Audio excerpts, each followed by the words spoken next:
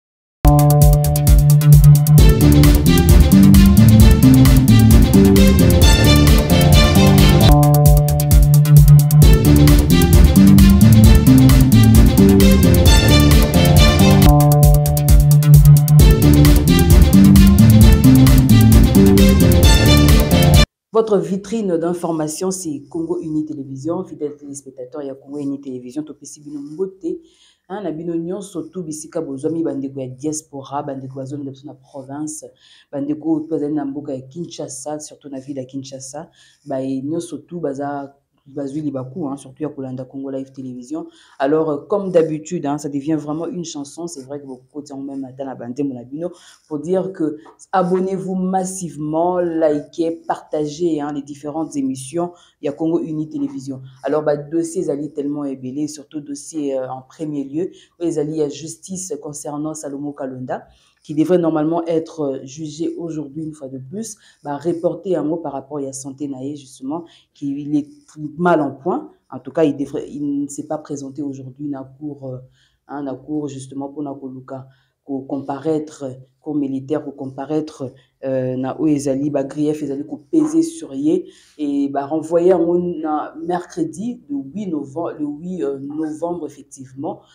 Euh, nde bakokura ekoyeba kozonga parce que euh, ministère public côté na ye veut aller c'est-à-dire que jugement foraine akende ti mpasi ndeko salomo kalonda azali na hôpital mpo acomparaître wana mais côté bavocat na ye balobi bapesa bango trois mois mpo bapermettre ye à se rétablir on va en parler euh, sur ces plateaux et puis on va parler également hein,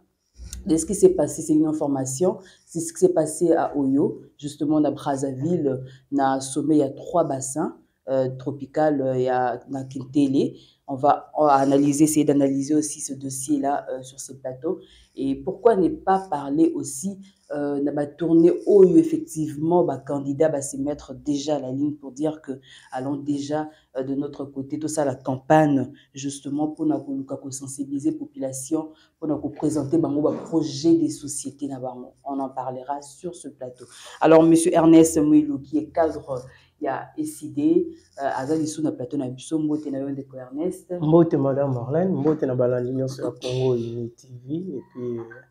mbote na ba ba congolais nyonso de partout dans le monde na ba ECD la muka mbote na bango nyonso. Ndeko Salomo Kalonda, dossier justice Euh, ndeko salome salomo aza maladie bandeko bayebi mwa ya comparaître ezali te nde nauta koloba yango baavoka na ye basengi bapesa ye 3 mois po aluka ase reposer quand même ase rétablir complètement c'est alors que akoleka devant justice omoi kutu ye azokima te hein? Est-ce que avec le temps que ça pris, on doit dire que soit ministère public aza na badossier suffisant aza na preuve plutôt suffisante te mpona koluka kokondamne ndeko salomo kalota eh, madame na, analyse na yo hein, par rapport na question na, na question wana vous avez déjà une partie de la réponse mm. vous savez euh, toza na justice moko oyo ezali kosala sous les ordres ya ya régime en place alors euh, indépendance ya justice ezali te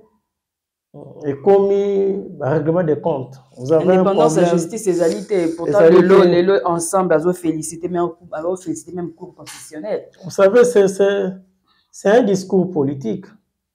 donc on attend aussi des retombées par rapport à suite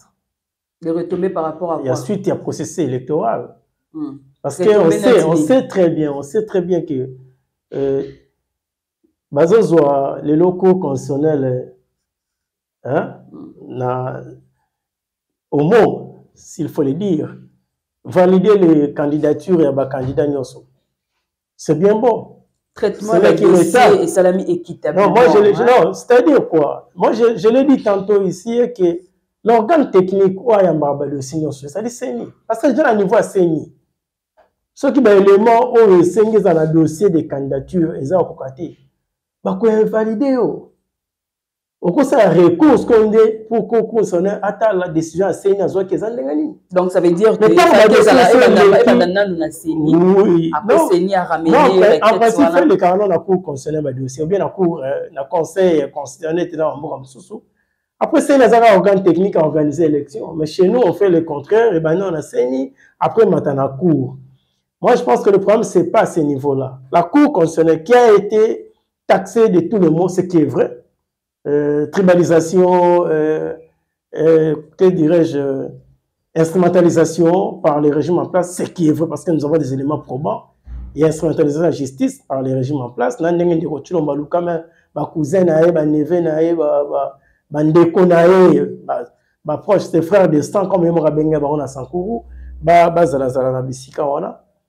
mm. alors na pression ya libanda faut pas oublier faut pas oublier que il y a une pression aussi il y a la communauté internationale qui veut que les élections soient inclusives apaisées transparentes nde ozomona que non devant pression wana pression naleki par rapport à validation ya candidature mpe ya moïse katumbi to balekisa ye sans problème non c'est à dire euh, une pression pour que les choses soient faites correctement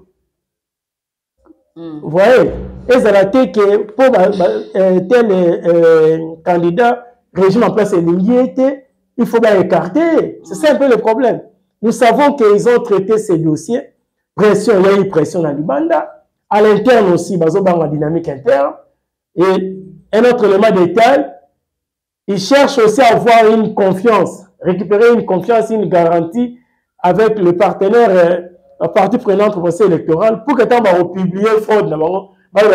tout le monde était là, vous avez accepté tant va valider Mounoso, maintenant on publie candidat euh, euh, euh, X à Zui, la cour a toujours été euh, naître ainsi de suite euh, na, na, na logique wana moi je vois ça na bafacette ebele il ne faut pas leur applaudir oui, mais tozonga tozonga ma na dossier discours na ye ntango eh, voilà c'est ce que je disais mm. alors so oye lelo omoni ndeko kalonda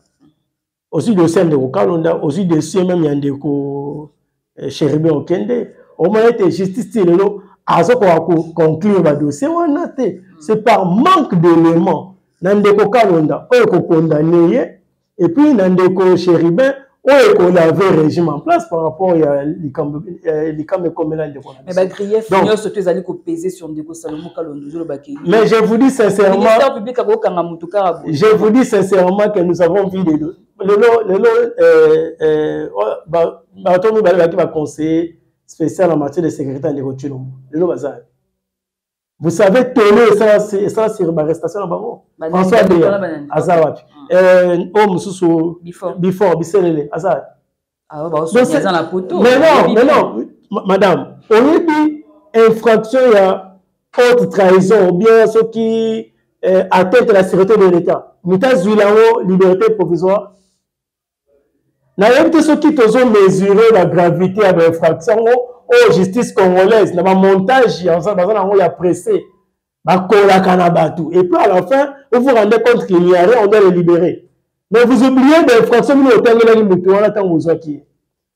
seulement pour plaire à un monsieur là qui se croit être na trône ya empire moko boye tata natikelaki ye non nous sommes dans une donc ça veut dire que arrestation ya ndeko bifort na ndeko euh, françois beya ezalaki nango euh, arrestation mais mutu oyo bakangi pour atteinte à la sûreté de l'état vous comprenez mpe infraction wana aza liberté provisoire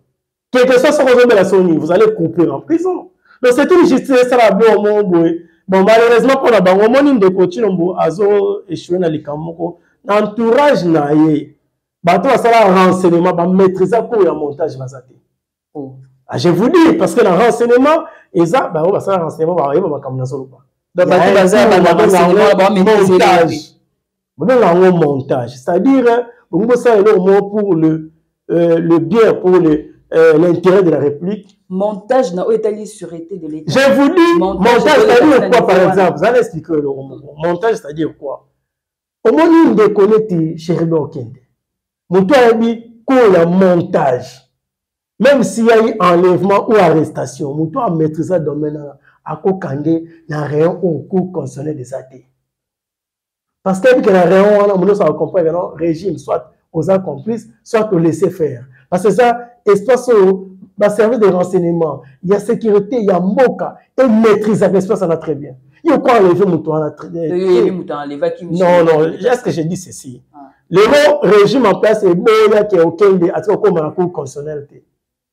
Justice est bonne quoi, mais aujourd'hui, par contre, on t'a donné. Ils ont dit que la Tindelaki, trois ministres, il y a ensemble bah, bah, bah, l'invitation. Le c'est démontré noir sur blanc que ndeko euh, mwanda osimba na mosusu wana batika kozwa invitation te eyelaka acheribe okende donc pour moi le montage mpo osala likambo et ma propre parce que tous les états dans le monde maîtrisent ce que je dis là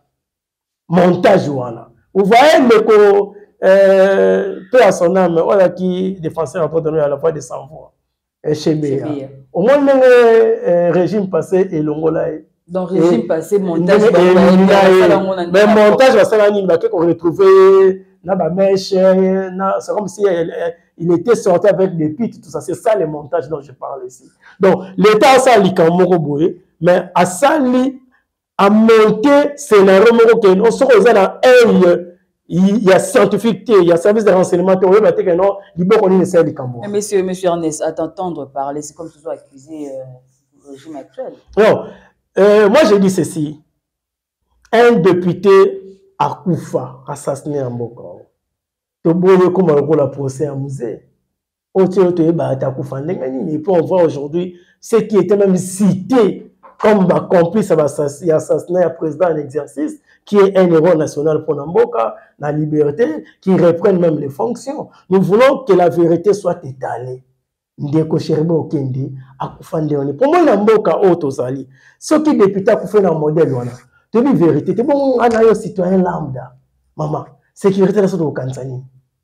tokanisa nini totambolaka tobima tozozonga tokanisa nini si un député un officiel ya mboka oh, les, les, les dossiers encore en cours mais ça traîne pourquoi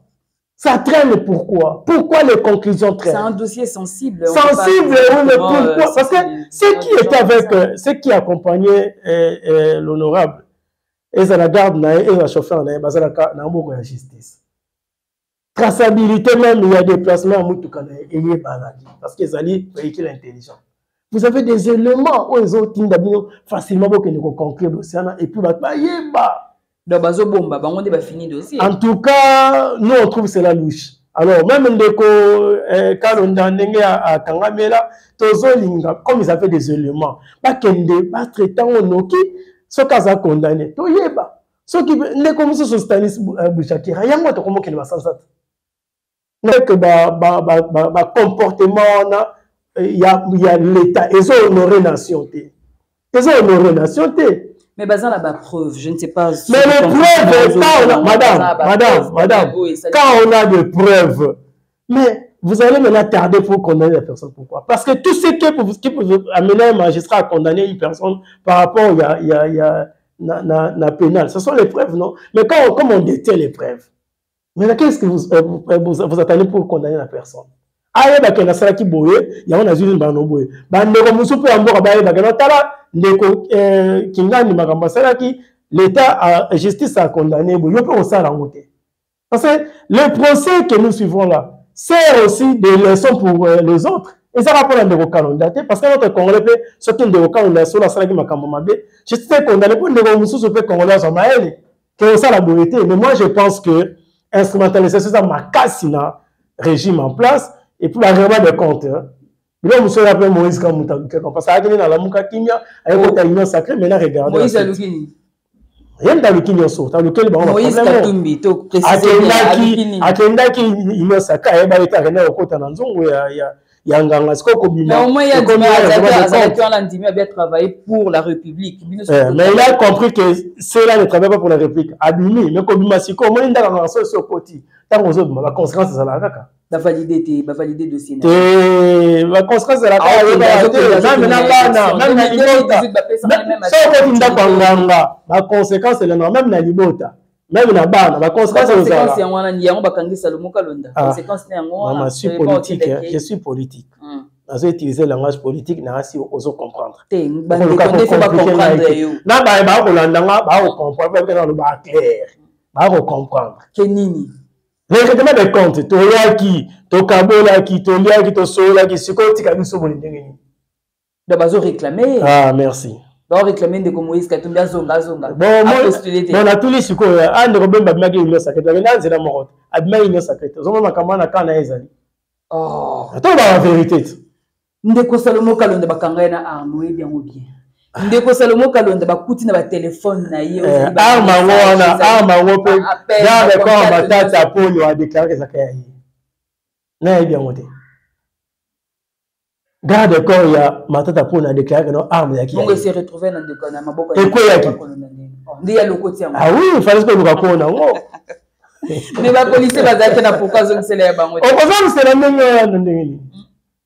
ntango ye alokoti leta balukaka ye eh, baluka bazongisela kona nde baluka kokanga ye eh. mais ce qui est vrai que ce qui est vrai que euh, c'est une arrestation politique le régime en place cherche à ce que euh, l'opposition la résistance eluka eh, mwa masolo na ye biso combien de résistance baza na makala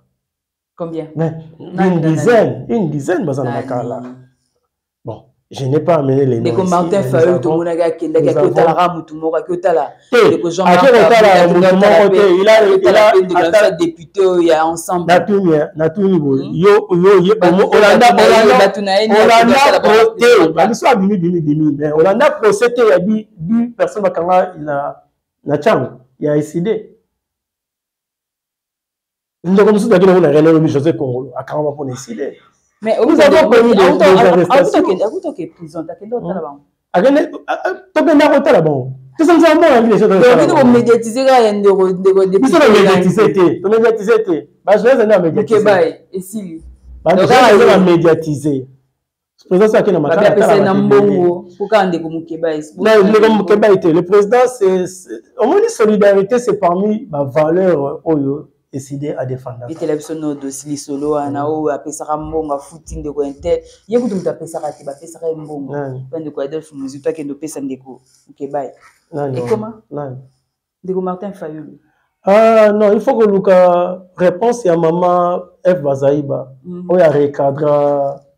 euh, ndeko Mukebayi. Arecadra ndeko Mukebayi oui, arecadra ndeko Muzitu. Te arecadra ndeko Mukebayi parce que ndeko Mukebayi mtalobaki no bayela ye mbongo ekoka te. Yango arecadraki mm. pour dire un tout le temps oyo omona ndeko mukebayi na prison yeba mwasi na ye na bana moto anofuta loya na bango président martin faru ah bon Je vous donne des éléments pour que vous vérifiez Ensemble aux, aux âges Je ne cite même pas le nom d'un parti, je cite le nom du président Martin Faru. afuteli bana ya mokeba ya kelasi ntango apona waza na prison mokeba ya bimi mokeba ya bimi nous sommes tous euh, na classe politique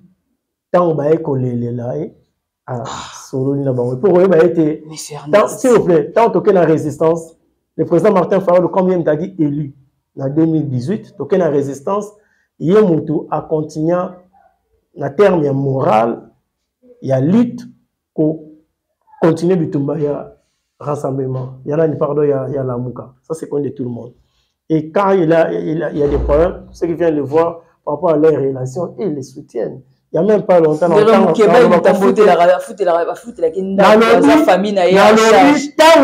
aza na prison moto afuta ndako ya mais ti lelo azaka na kebai te prison toko akotaki liboso wana ah, oyo liboso oui oyo ya mibale en tout cas wana na kokosa te naza na information sur yango te ponga makambo oyo nga nayebi oyo naza na information na koyeba soki naza na information te nakoloba mpe te parce que nabongi ndenge obengi yango teno olobaki boye tena ngai eloko nalinga yango te na respecta personnalité nanga nalingaka devant de mémoire ere na identité na likambo nabaki 5 ans 12 ans 15 ans mama eve bazaye barecadraki arecadraki ndeko mokebeke efale ozala reconnaissant parce que eloko boye eloko boye ntango eza na prison président martin fale moto asala yango siko meme ntango abimi bacheke ye président apesa ye mbongo ndeko mokeba ye mbongo mpo ya nini aka na parti politique na ye te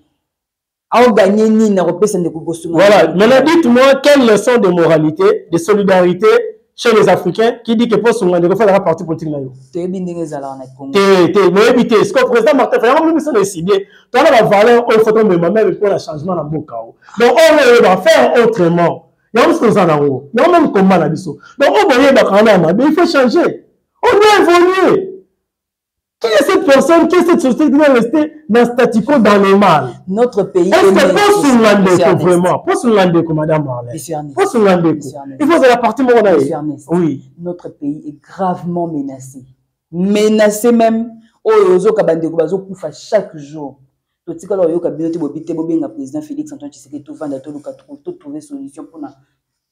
to to to rétablir paix à l'est du pays wana botikala osala yango te madame solidarité wana boosalamadame solidarité na moto aza na prison aza meme pas na parti madame madame lamuka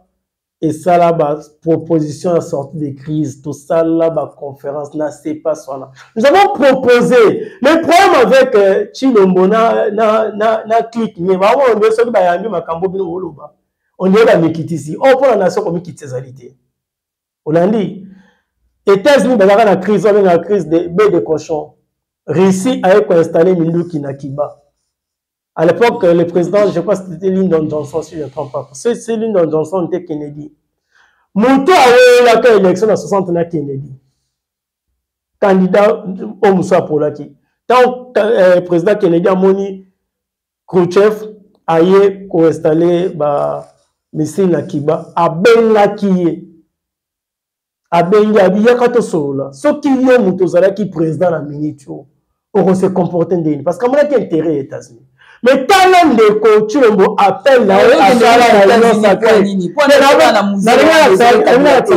muzepe auta kosala yango asala yango voilà voilà c'est-à-dire sikoyo tala appel oyo meme muze asalaki oyo olobi na oyo nabeti lisolo ya états-unis eza formule ya union sacré te parce que yo kutu ibawana baganaka ba élection mose kutu abundi aye azwi pouvoir yo banome okonome ogana kutu élection te epi ozobenga motu oyo aganaki mpe élection aye epai na ondire soki azali kobondela eloko eza ya ye moko mabengaka ye na union sacré non eza mpona intera wana eza intera ya mboka te towana eza intera ya mboka te sikoyo yaki neti ye aza neti aza mérite amérita pouvoir sikoyo abenga baninga ye bako accompagne non c'est l'humilité qui a manqué à notre frère félix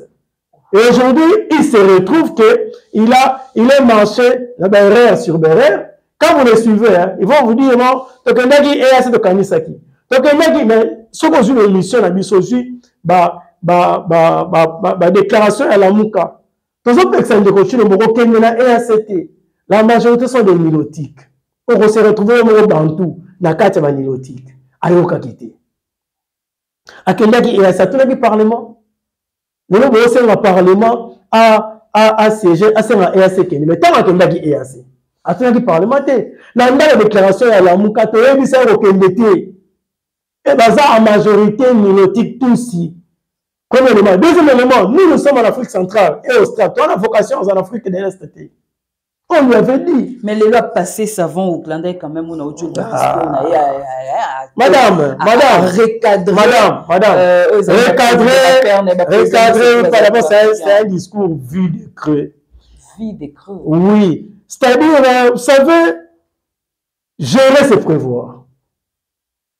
yango omoni banation ebele ekende liboso parce que il faut ozala vision ya 25 ans ya 30 ans ya 50 ans ya gestion ya mboka ya de pays oyo ozomona 5e 6e président azokota azosala na vision oyo premier deuxième atikaki parce que asalaki traçage malamu mais la continuité non bien sûr mais soki continuité ana ebandi mabe oyo na nsima aza na problème vous savez aujourd'hui l'état congolais na situation toza na yango Felix aujourd'hui part, celui qui va le remplacer. Azana musala makasi, oyebi yango. Oyo kutu ye ndeko tshilo motango akoti, akutaki euh, pays l'etat wana te. Akuta mboka eza ya kokufa. Ye nda azotelemela. Ye nda abomi mboka. Le pays est à la gomme, ye nda abomi mboka. C'est un faux médecin. Alongoli mutu na salle d'urgence akotisa na mort. c'est un faux médecin biloko nyonso to ozomona yango eteli banzela ezali kotongama madame vous mettez chilombo en 2001 na pouvoir oyo mbele mboka esekoma da 7 république mais mboka eza ya telema eza ya telema te mboka eza yakwa libata bakati makolo avandeli sikoyo libumu Bana ko otya libata wana platre makolo ekoma makasi azonga kotambola. Ndeko Tshilombo makomi na pouvoir akuti Congo eza ata na liongo na banque banque mondiale te na FMI te. Lelo tuna ye ndeko Tshilombo akoma na pouvoir aucun aucun mètre carré ya, ya mboka na maboko ya, ya groupe armé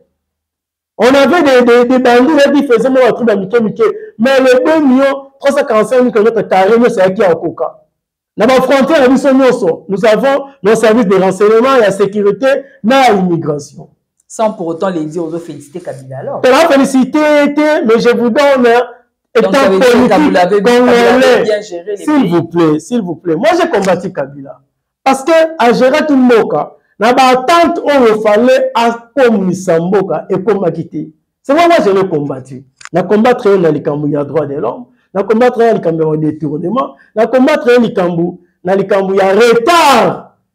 développement congo ezozwa mais disons les choses ntango ndeko tshilombo azozwa mboka elaki na etani lelo ekomi na etani ce n'est pas soutenir kabila mais c'est dire la vérité parce que vous n'aimez pas la vérité pourquoi vous n'aimez pas la vérité Ndeko, chino mokolo akozwa pouvoir, on ne parle pas de M23, vrai ou faux? mpo na susi ya koluka légitimité na ye ake na kigali epa kagame bosutenina bosutenina kagame azwi dosie ya mvapa celi kwame sa yo omonaki yango o oh, seigneur baaccord wana eza baaccord déjà kabila moto asignaki ndeko kabila ndeko félix akendaki ajustement amona claire amona claire na ninimisaki ye déjà amona claire na nini parce que toaki na omoni continuité de l'Etat oyo bozoloba oyo fala tuna ndeko Kabila baaccord yango bosilaki oyo wana respecte parlement nini eadoptaka yango mais n'est-ce pas que président alobaki yango mpona koluka juste ntango akendaki juste na mandat na ye ebandi ebandi au début aluki baprésident nyonso to ya africain wana mpona koluka koconsolide Euh, pe pona koluka développement ya ba ya Afrique. Oui, il fallait maintenant amener les M23 14 mois Kinshasa logé, nourri avec les frais du gouvernement. Mbata confirma ngo, Bisei la confirma ngo. Est-ce qu'un pays comme le nôtre, il faut que Luka Kagame pas peso, a peso carnet d'adresse? Hmm. Non, non, on ne doit pas se cacher derrière bah, erreur moko moko mobimisa yango dire aujourd'hui aujourd'hui eh, ndeko Tshilombo aza na logique parce que il epesaka mensonge barbarie violence parce que bakomi na quatrième leçon bayebi kotangisa makasi victimisation bah, on se victimiser partout on veut le faire croire que non Félix eh, aime beaucoup les Congo aime les Congolais tout ça ce que libanda balingi ye te bavoisin balingi ye te tout ça non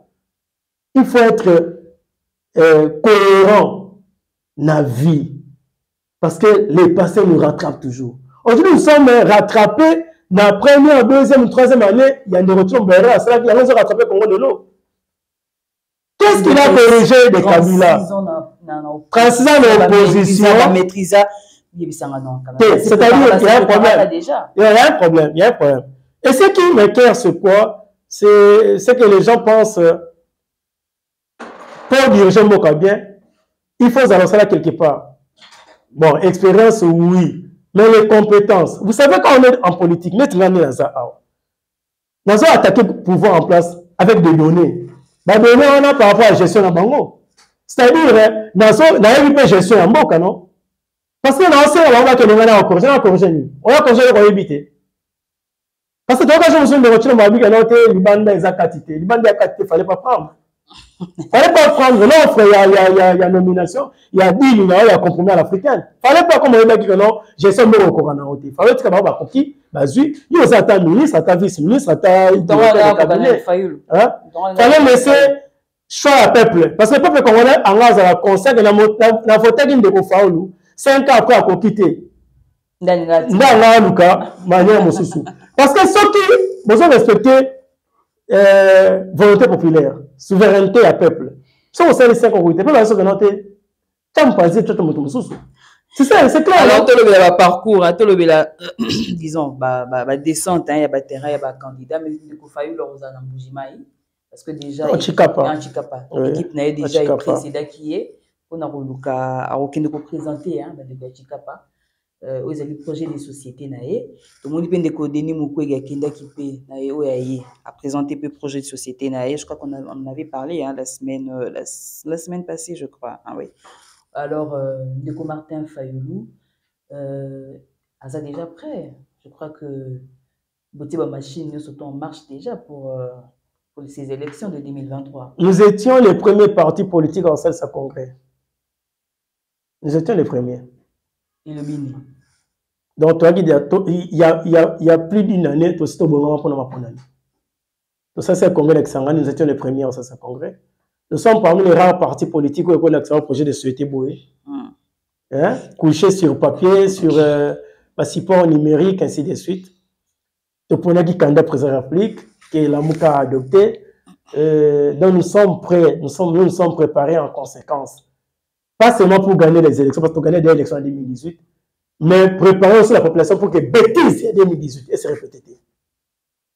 En tout cas, on ne va plus voler la victoire après Congolais, comme ça a été fait en 2018. Que ceux qui sont mal intentionnés, bah, ils auront déjà euh, quand mis en garde. Bah, les bango, que les caté, et les caté. Donc le président, Azar, dans le cadre, il a ko expliquer la population eh, ba ba ba, ba réponse oyo biso toza na haut par rapport à question de l'heure et na marche oyo démarche oyo lamuka azali kosala pour euh, ko ko ko ko boma pe euh, moi ben intoxication des informations oyo elekaki elekaki na ba ennemis ya ya peuple congolais à travers toute la république et puis vous êtes sans oublier que nous profitons de l'occasion pour euh, demander à la justice congolaise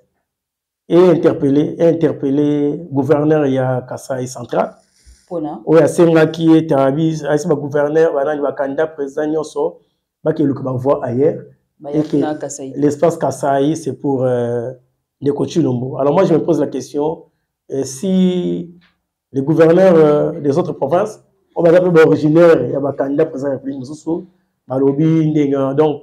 ce sont des actes oyo rmo soki bakongo bazoganga balkanisation mondiale nga balkanise congo na, na rmo nasekaka parce que quand vous voulez dénoncer la balkanisation na libanda mais à l'interne quels sont les actes quels sont les propos que nous tenons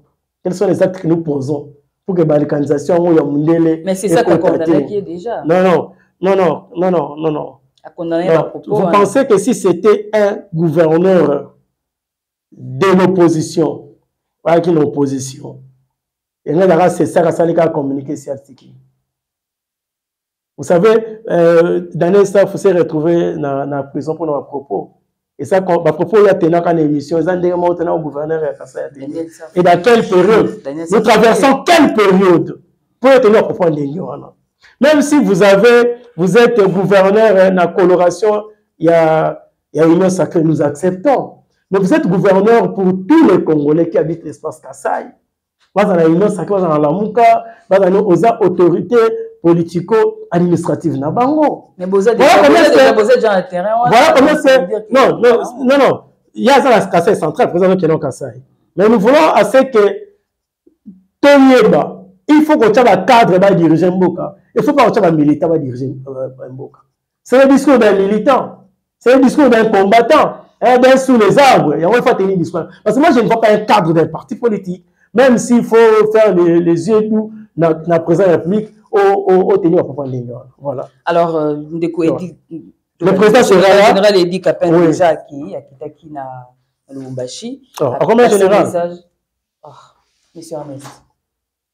Monsieur Ernest. Bazongisela ye bagalon na ye. Natuni question. Na cérémonie nini? Na cérémonie nini? Parce que radiation na radiation na ye na armée ezalaki cérémonie ezalaka cérémonie on va radio na armée. Ko ko réintégrer pe. Fallait pe et la cérémonie officielle. Et puis surtout qu'il a été, il a été euh, koyamba c'est pas un problème mm. moi je suis dans la logique parce que vous savez kozanga kosala makambo proprement eyosala ke meme bato bazolanda biso bamboka mosusu bayeba kotosa biso te parce que nazoyeba te nous sommes en plein 20e siècle toza na antiquité te to na moyenage te il faut otanga histoire oyo baacte mosusu esalamaki na antiquité esalamaka na moyenage na époque contemporaine eke na temps moderne okosalama te moi je vais seulement olukela ngai euh, acte ya réintégration na ye na armée parce que il a réintégré l'armée et puis avec euh, euh, nani avancement na grade na nomination na fonction mbala moko et vous sans oublier que le médecin a été condamné na assassinat d'un président de la République en fonction qui est parmi nos héros nationaux. D'abord, un, moi je trouve que cette nomination-là, c'est cracher sur la mémoire d'un héros national ou à Salim Makambu. Vous savez, nous sommes héros national.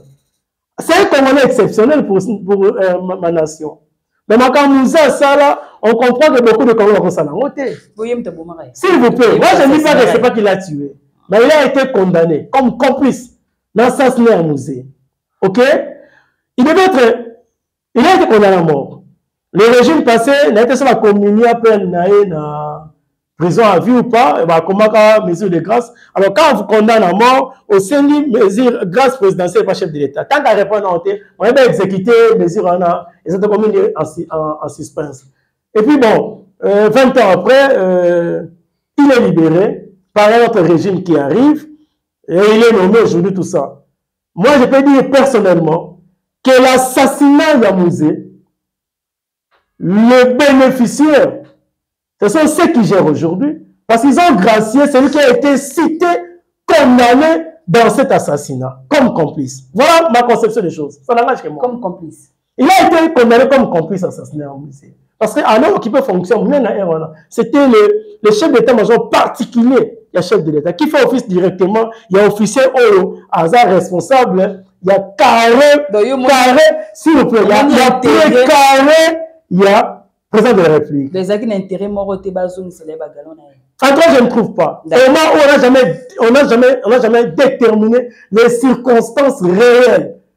Il y a assassinat à chef de l'État. Voilà. Donc les Congolais aimaient beaucoup. Merci, merci beaucoup, Monsieur Ernest. Hein. On est pratiquement à la fin. C'est moi qui vous remercie. Je ne sais pas vous accorder un mot de la fin. Merci également hein, à Nabinoba téléspectateurs et à Congo Uni Télévision. Abonnez-vous massivement, likez, partagez, commentez, laissez-nous un commentaire. Alors, euh, je vous retrouve euh, prochainement, mais euh, en tout cas,